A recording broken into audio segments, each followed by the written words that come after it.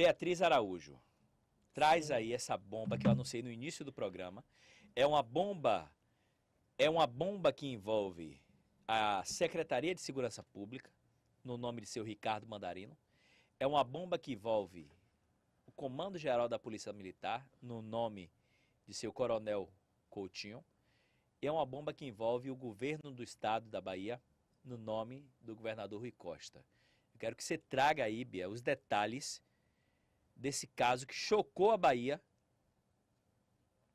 e o Brasil. O que aconteceu foi o seguinte: os moradores do bairro de Mussurunga, em Salvador, viveram momentos de tensão na noite de ontem. Por volta das 8 da noite, homens fortemente armados circularam pelas ruas do local, mais precisamente lá no setor L, em uma suspeita de ataque a grupo rival.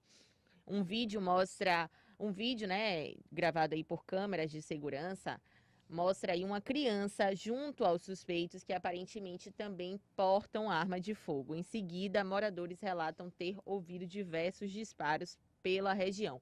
A gente tem aí as imagens e a Polícia Militar da Bahia chegou a ser acionada e reforçou a segurança no bairro através de guarnições da 49ª Companhia Independente. No entanto, não houve nenhuma prisão registrada até o momento e as imagens seguem sendo analisadas para a identificação Meu dos suspeitos. O que chama céu. atenção aí é a presença da criança. Essa criança, ela não deve ter aí 15 anos, esse menino aí, não tem 15 anos, com certeza. Magrelo, coitado. Olha só, Mas com uma arma na mão faz estrago, viu? 15 anos. Com uma arma na mão faz estrago. Olha lá, ó. O corre-corre. a ação e mostra ele. E, e- e eu quero saber se o, o governador Rui Costa ele vai se omitir, vai se calar em relação a Meu isso. Deus, olha lá. A não ser que a para ele já é natural. A não ser que para o governador Rui Costa cenas como essas sejam normais. A não ser, a não ser que para o secretário de Segurança Pública Ricardo Manarino, cenas como essas sejam ok, sejam beleza, sejam de boa. Aí não se manifestem. Aí não se manifestem. Eu não acho normal. E eu não vou me calar. Eu não acho normal cenas como essa. Primeiro, cenas de uma bandidagem, de uma vagabundagem agindo assim, à torta e à direita. Segundo, numa gangue de uma facção com a criança. Se os senhores, governador e secretário de Segurança Pública e comandante-geral da Polícia Militar, se os senhores acham isso normal, os senhores têm todo o direito de ficar calado. Mas se os senhores, como todo cidadão baiano, acham isso aí um absurdo, eu espero sair daqui, do programa, daqui a pouco, e ver que vocês vão se manifestar. E ver que os senhores vão dar uma coletiva de imprensa, vão falar sobre o assunto, sobre o que a polícia está fazendo em relação a isso, sobre investigação. Não se investiga nada. Quadrilha age como quer, facção age como quer e nada se faz. Tem que se manifestar. A garota, a garota Cristal morreu. Eu não vi Rui Costa dar um pio. Um pio. Um pio não deu. E agora tá aí na eleição. Atrás de Jerônimo pra cima, atrás de Jerônimo pra baixo. Meu irmão, deixa Jerônimo lá, o candidato é ele. O senhor é gestor desse estado, Rui, Rui Costa. Quase engasgo aqui. Um dia desse eu, eu engasgo e morro aqui nesse programa.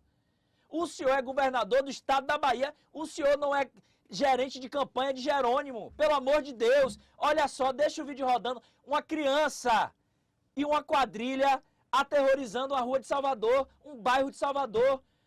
Não é possível, eu não posso achar que aqui vai virar o Rio de Janeiro e São Paulo e achar que isso é normal e conviver com isso todos os dias, sem que as autoridades deem uma justificativa para isso estar acontecendo.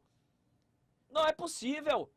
Eu sentei para entrevistar Jerônimo e falei abertamente na cara dele, eu falei, candidato, a, a segurança pública da Bahia tá um caos. Tá um caos. E aí ele veio me falar porque Rui Costa fez isso, Wagner fez aquilo. Sim, meu irmão, mas continua um caos. Se fez e não resolveu, ou fez pouco, ou fez errado. Você concorda comigo, Jerônimo? Se fez e não resolveu, ou fez pouco, ou fez errado. Então não quero saber o que Wagner fez e o que Rui Costa fez. Eu quero saber o que vai ser feito. Eu quero saber o que é que Rui vai fazer nesse final de gestão para tentar dar um, um freio ne- nesse pandemônio que está a, a, a violência na Bahia. E eu quero saber o que você e Neto vão fazer se forem eleitos.